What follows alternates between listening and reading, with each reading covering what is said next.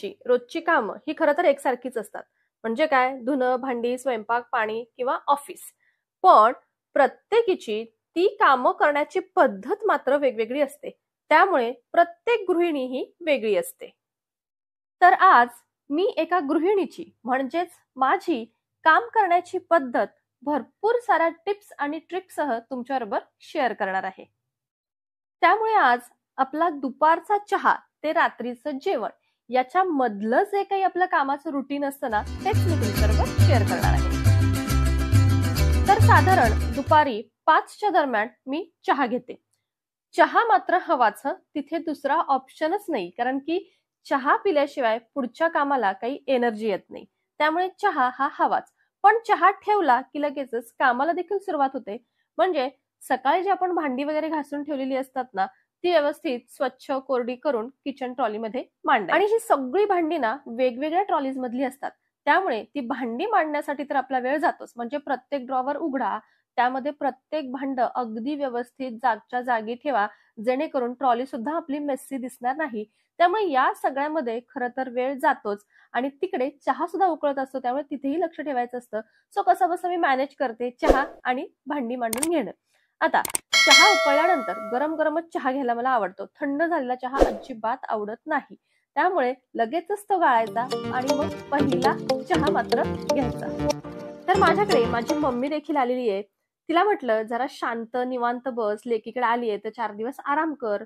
तर कुठलं काय? मला म्हणे मी बसूनच काम करते पण काहीतरी काम दे आणि मग तू तुझ्या कामाला जा. तर मला दळण नीट करायचंच होतं. तर तिला म्हटलं एवढं माझी बाजरी आणि ज्वारी निवडून दे. म्हणजे झालं आणखी काय आणखी काही करू नकोस. तर ती मात्र तेवढं निवडत बसलेली आहे आणि मी आता माझ्या पुढच्या कामाला लागणार तर आम्ही दोघी दुपारीच डीमार्टला देखील जाऊन आलो होतो. त्यामुळे तिथून आणलेला जो किराणा माल होता ना तो मला व्यवस्थित सेपरेट करून ठेवायचा होता. तर म्हटलं आधी तेच काम करून घ्यावं. तर बा असं मी किराणा माल पिशव्यांमध्ये आणलेला आहे. तर तुम्हाला वाटलं असेल की अशा पिशव्या का घेऊन आलेली आहे? तर बा तिथे ऑलरेडी ज्या पॅक केलेल्या पिशव्या असतात ना त्या खरं तर महाग असतात. पण आपण जाऊन ज्यावेळेस असं पॅकिंग करून आणतो ना त्यावेळेस हा किराणा मला आपल्याला एक दोन रुपयांनी स्वस्त मिळतो. असा माझा एक्सपिरियन्स आहे. तुम्हाला काय वाटतं? तुम्ही देखील सांगा बरं का?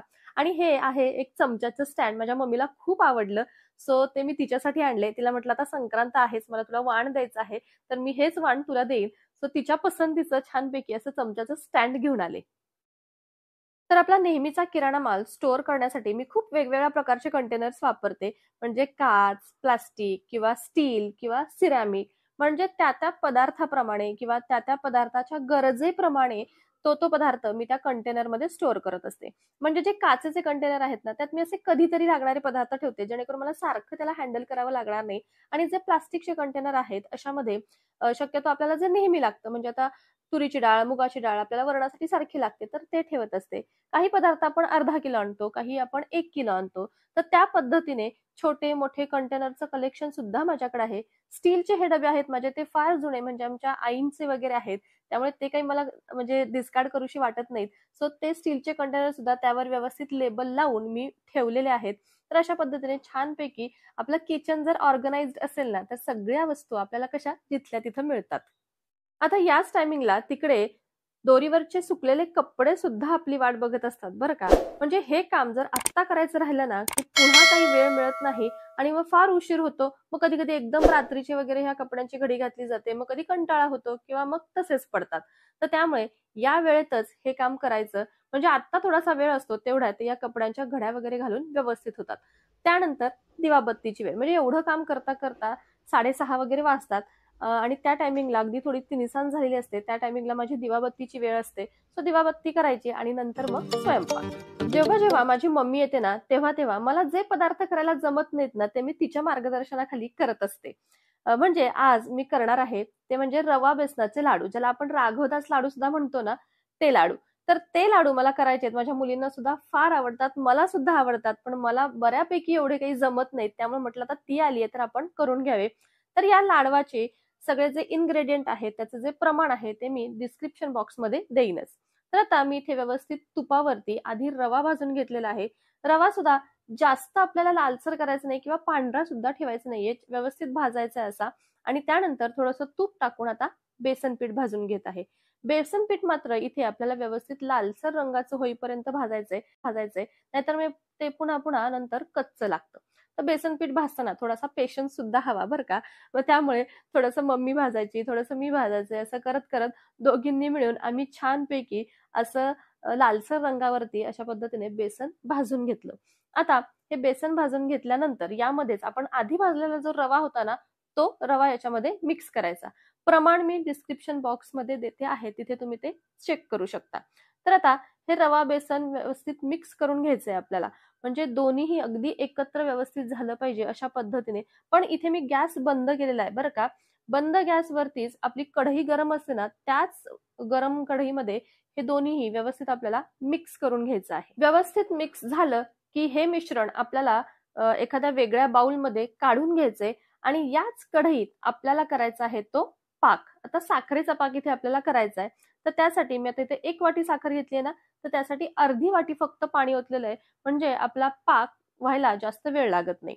तर पहा इथे आपल्याला एक तारी पाक करायचा आहे आता एक तारी म्हणजे तुम्हाला लक्षात येत असेल कधी कधी आपण उलटण्यावर पण बघतो अशी तार सुटते किंवा कधी कधी असा एक ड्रॉप प्लेटमध्ये घ्यायचा आणि तो ड्रॉप आपला जास्त मूव्ह नाही झाला एका जागेवर राहिला की म्हणायचं आपला एक तारी पाक तयार झाला. आता या पाकामध्ये आपलं हे जे मिश्रण आहे दोन्ही रवा बेसनाचं मिक्स केलेलं तर हे मिश्रण याच्यामध्ये टाकायचं आपल्याला व्यवस्थित मिक्स करून घ्यायचं आहे.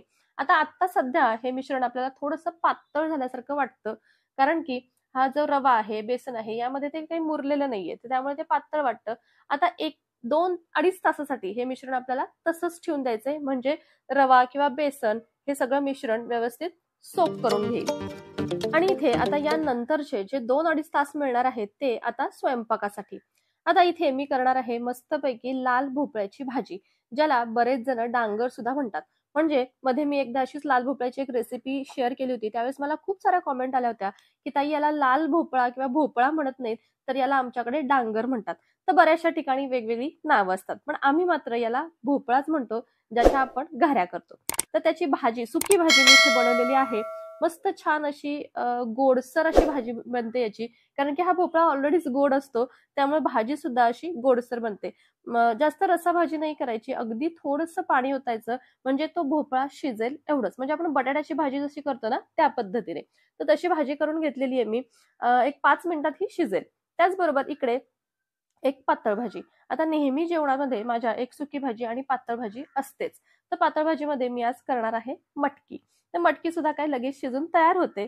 सो अशा पद्धतीने मधल्या दोन तासामध्ये दोन नाही दीड तासामध्येच म्हणा ना आमचा स्वयंपाक झाला. यामध्ये मी भोपळ्याची भाजी मटकी चपाती भात आणि थोडीशी एक चटणी असं आजचा मेनू आहे. तर तो झाल्यानंतर आम्ही सगळे एकत्रच जेवायला बसलो. फार कमी वेळा असा चान्स येतो. कारण मम्मी पप्पा आले तरी चार पाच दिवसच राहतात आणि लगेच सातारला जातात. तर त्यामुळे सारखा सारखा चान्स येत नाही. मुलींना सुद्धा असं मस्त छान एकत्र बसून जेवायला फार आवडतं. तर त्यामुळे असा सगळा आजचा डिनरचा आमचा प्लॅन आहे. जेवण झाल्यानंतर आम्ही एकदा या लाडवाचं मिश्रण चेक केलं तर छानपैकी ते मुरलं होतं आणि लाडू बांधायला देखील आले होते. त्यामुळे आम्ही भांडी मागे ठेवली आणि पहिले लाडू बांधायला घेतले. पहा मुलींना सुद्धा खायची तर लगेचच इच्छा झाली कारण त्यांना देखील खूप लाडू आवडतात. पण आत्ताच जेवण झाल्यामुळे मी तिला म्हटलं थोडंसं थांब आणि नंतर खा. तर तिला थोडा राग आला पण ठीक आहे म्हटलं नंतर तुला थोड्या वेळाने देते. तर मग ते बाबांची खेळत बसल्या. त्या दोघींना सुद्धा माझ्या पप्पांशी म्हणजे त्यांच्या बाबांशी खेळायला फार आवडतं. अजिबात त्यांना शांत बसून देत नाहीत त्या. कंटिन्यू त्यांचं खेळणं घरी असल्या की चालूच असतं. आणि आमचं इकडे लाडू बांधायचं काम चालू आहे. अगदी सुंदर अगदी मस्त लाडू झालेले आहेत.